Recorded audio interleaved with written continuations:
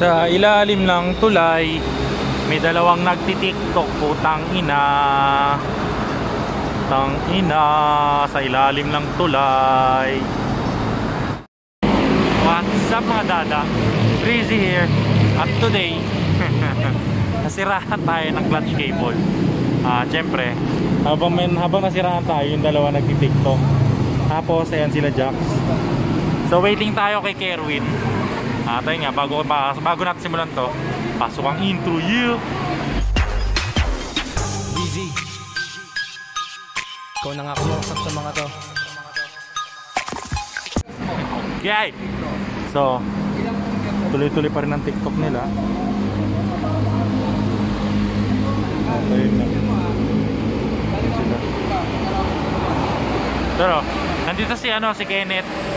Um, pumunta siya rito pero walang silbi. Pampagulo lang. Tapos ayun nga, nakakaliw kahit na nandito kami sa ilalim ng tulay. May nagtitiktok sa harap. Ayan.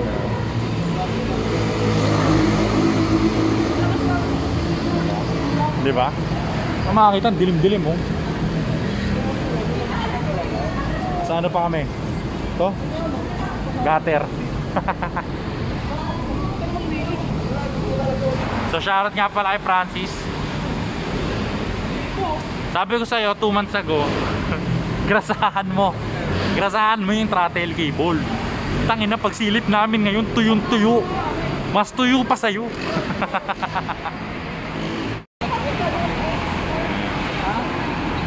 Sa EDSA ako na sa EDSA ako na putulin.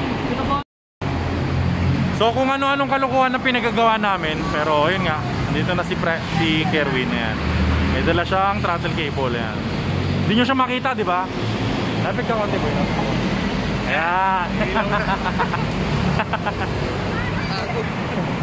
so, ayan, ayan. Sipag. Dahil sila ngayon ng throttle cable.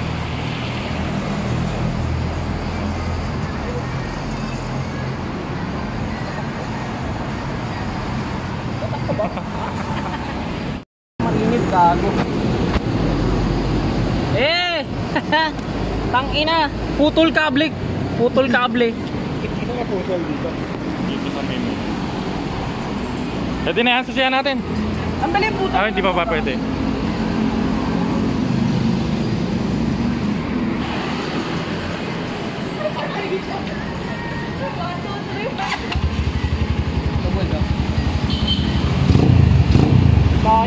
Layo. Kailangan ano, adjust pa.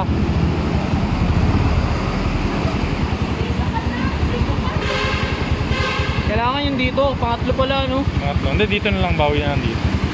Kasi maganda. Sobra. Makunat talaga to, hindi ko alam kung bakit. Makunat yung quick throttle. Yan, okay na yan, okay na yan. Ano na yun, wala tayong pangontra eh. Nakita mo baka masira pa Ah, sorry, sorry, Hindi makauwi.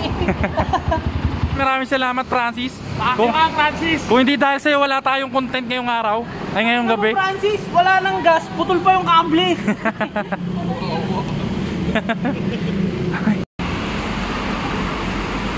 Tang ina, walang hiya-hiyaan, oh. Puki ng inang yan, oh.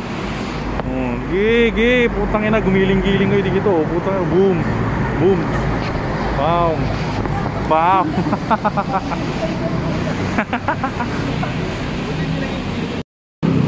okay. So, okay na, bibira na kami. Ayan. So, maraming salamat. Update lang ang nangyari sa amin ngayon.